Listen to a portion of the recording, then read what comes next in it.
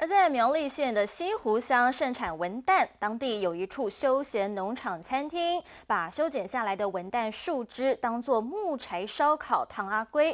由于整只鸡事先是用文旦露来腌制，再加上用文旦木慢火烘烤，不但可以吃到整只鸡的原汁原味，还带着一股文旦的清香。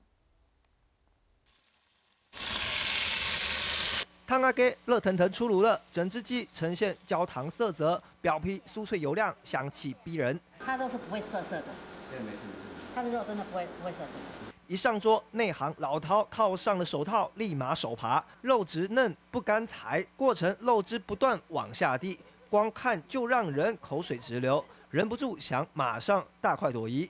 它烤出来就是有汁，而且它很香，它而且它的皮啊特别好吃。它里面就是有汁很多，而且它不会涩，嗯，而且很香。它用那个柚用柚子去弄的嘛，它整个是柚子腌的。主要是它的那个皮，皮真的是不一样。其实这烤鸡微微散发着文旦香气，原来在烤的过程中所使用的木材正是文旦木。